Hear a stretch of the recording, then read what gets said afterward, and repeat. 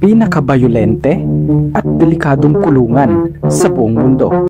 Alam nating lahat na ang kulungan ay siyang hantungan ng mga makasalanang tao. Sa pasilidad na ito, ang mga preso ay nabibigyan ng pagkakataon para magbago at pagsisihan ang kanilang mga nagawang kasalanan sa pag-asang sila ay makakalaya at magbabagong buhay. Ngunit paano na lang kung ang kulungang nakasadlakan mo ay iyong makakasama ang mga pinakakinatatakutang pugante at mamamatay sa buong mundo. Ano ang gagawin mo? Kaya naman sa video natin ngayon ay ating sisilipin ang mga pinakabayolente at delikadong kulungan sa buong mundo na hindi mo na naising mapuntahan. Kaya't simulan na natin. Ngunit bago yan, kung bago ka pa lang dito sa ating channel at interesado ka sa ganitong mga content, na tumatalakay sa siyensya, discovery, conspiracy, kakaibang pangyayari, katatakutan at iba pa, ay pakipindot mo na din ang subscribe at bell button para lagi kang updated sa mga bagong uploads ko. Maraming salamat po. Number 10.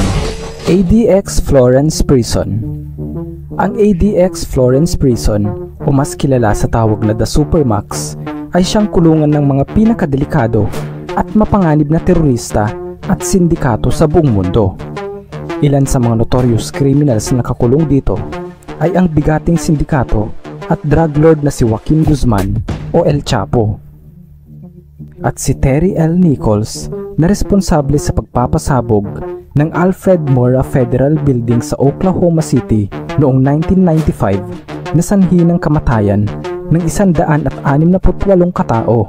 Bilang tahanan ng pinakadelikadong kriminal sa buong mundo, ang pasilidad ay napapalibutan ng nagtataasang metal gates na may kuryente at daan-daang surveillance camera. Bukod sa posas, ang mga bilanggo ay nakakadena ang balakang at mayroong mabigat na pares ng leg irons sa kanilang mga paa. Ang bawat preso ay 23 hours na namamalagi sa kanilang madilim at masikip na selda bawat araw ng mag-isa dahilan kung bakit karamihan sa mga bilanggo ay nawawala sa katinuan. Number 9. Gitarama Central Prison Ang kulungang ito ay isa sa pinakamasahol sa buong mundo at tinatawag na Hell on Earth o ang impyerno sa ibabaw ng mundo. Ang Gitarama Central Prison ay may kapasidad lamang na 600 katao. Ngunit dahil sa Rwanda genocide noong 1994, o ang tahasang pagpatay ng mga mamamayan ng Rwanda, ang kulungan ay napuno ng mga pugante at mamamatay tao na lumobo na sa bilang na lampas 7,000. Ang mga preso dito ay kadalasang nagpapatong-patong at nakatayo sa loob ng rehas na walang bubong at mistulang mga hayop. Dahil sa kawalan ng sapat na pagkain, usap-usapan din ang cannibalism sa loob ng kulungan. Ang mga nakakulong dito ay hindi na nakakalaya pa at hinahayaan na lang na doon ay tuluyang mabulok. Number 8. Alcatraz Prison Ang Alcatraz Federal Penitentiary Prison ay matatagpuan sa isang maliit na isla na kung tawagin ay Darak sa pusod ng San Francisco Bay. Noong 1930s, ito ay tinuturing bilang pinakamalakas ang seguridad na bilangguan sa ilalim ng United States Army. Bukod pa doon, ito'y nasa isang isolated na isla at pinapalibutan ng humahampas at rumaragas ang mga alon. Ang Alcatraz Prison ay siyang naging tapunan ng mga itinuturing na pinakamasahol na kriminal sa Amerika. Dahil sa hindi makataong pagmamaltrato at torture sa loob ng nasabing kulungan, karamihan sa mga preso dito ay nababaliw at nagpapakamatay na lang. Ngunit noong 1962, tatlong bilanggo na sina Frank Morris, John Anglin at Clarence Anglin ay nagpamalas ng nakakabilib na prison break gamit ang simpleng kutsara at tinidor, pagmumolde ng isang paper mache para malinlang ang mga gwardya ang mautak na paggamit ng mga nakolektang raincoats upang maging isang inflatable rubber boat na kanilang ginamit upang lisanin ang mapang-aliping kulungan. Ito ay ang makasaysayang Escape of Alcatraz. Nagsara ang pasilidad noong March 21, 1963 at ngayon ay isa ng maalamat na museo. Number 7. La Sabaneta Prison Ang correctional facility na ito sa Venezuela ay ang pinakanotorious na kulungan sa bansa. Originally, ito ay may kapasidad na 700 katao, ngunit di kalaunan ay ito ay naging tahanan ng lampas 3,000 mga bilanggo. Dahil sa kakulangan ng mga bantay sa pasilidad, karaniwan na ang riot sa kulungang ito. Ang bawat preso ay mayroong mga patalim o armas na kanilang ginagamit pandepensa sa kanilang sarili. Pinamamahalaan ng iba't ibang mga gang ang loob ng bilibid. Sa katunayan, noong 1994, 108 na preso ang namatay dahil sa salpukan at barilan ng mga gang sa loob ng bilangguan. Bago natin ipagpatuloy, shoutout nga pala kay John Joseph Valencia for suggesting this topic. Ano sa tingin nyo mga Bright Owls? Karapat dapat ba na ganito ang kalagayan ng mga nakakulong? Comment mo naman dyan sa baba nang malaman namin. Number 6. Tadmore Prison Ang kulungang ito ay matatagpuan sa gitna ng napakainit na disyerto ng Palmyra sa eastern Syria. Tanyag ang kulungang ito dahil sa mga kaso ng inmates abuse, torture, at summary execution o tahasang pagpatay ng mga bilanggo.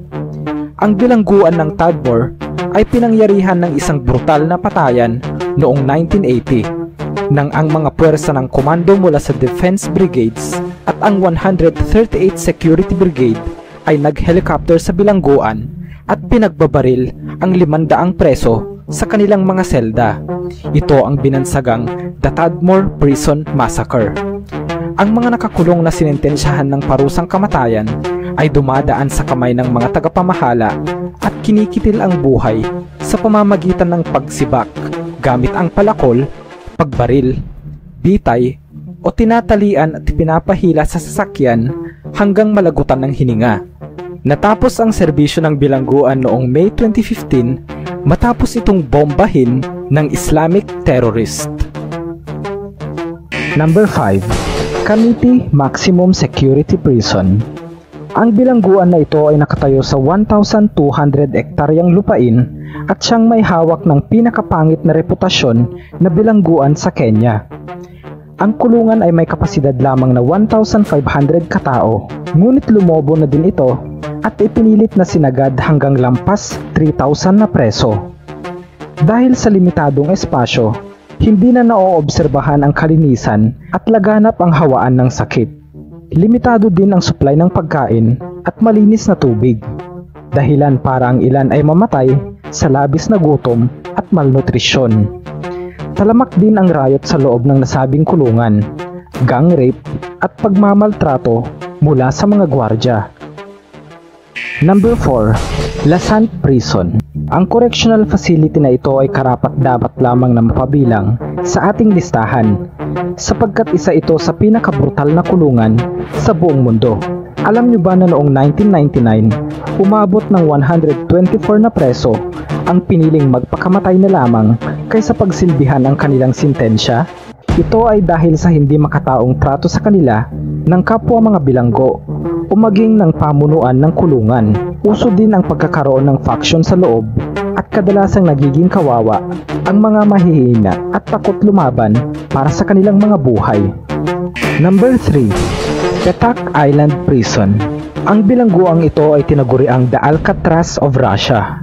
Ito ay makikita sa gitna ng nagyelong lawa ng White Lake. Ang matinding lamig ng temperatura sa maximum prison na ito ay siyang dumadagdag sa pasanin ng mga taong bilanggo. Ang mga ibang hindi kinakaya ang lamig ay namamatay sa hypothermia bago pa man matapos ang kanilang sintensya. Bawat preso ay nakakulong sa kani-kanilang mga masisikip at madidilim na selda ng mag-isa araw-araw. Walang makausap o kahit libro na mababasa. Pinapayagan lamang ang bisita sa sino mang preso ng dalawang beses sa isang taon. Dahil sa mahirap na kalagayan at sitwasyon sa loob, karamihan sa kanila ay nababaliw at kinikitil ang sariling buhay. Number 2. Penal de Ciudad Barrios Ang kulungang ito ay tahanan sa pinakakilabot na gang sa buong mundo. Noong taong 2004 hanggang 2015, ito ay naging tahanan ng mga miyembro ng Mara Salvatrucha Gang. isang criminal gang na nabuo sa Los Angeles, California at ang sinasabing pinakadelikado at mapanganib na gang sa buong mundo. Dahil sa kaliwat ka ng gulo at riot sa loob, ang pasilidad ay binabantayan ng mga sundalo at puwersa ng pulisya. Hindi umano natatapos ang isang riot hanggang walang namamatay. Number 1. Black Dolphin Prison Ang bilangguang ito ay ang tapunan ng mga convicted criminals at pinakamasahol sa buong mundo. Dito itinatapon ang mga kriminal na convicted ng patong-patong na krimen kagaya ng rape, murder, manslaughter at kahit na mga cannibals. Dahil sa mga walang pusong kriminal na naririto, ang mga gwardya ay nagiging bayolente rin at ubod ng istrikto.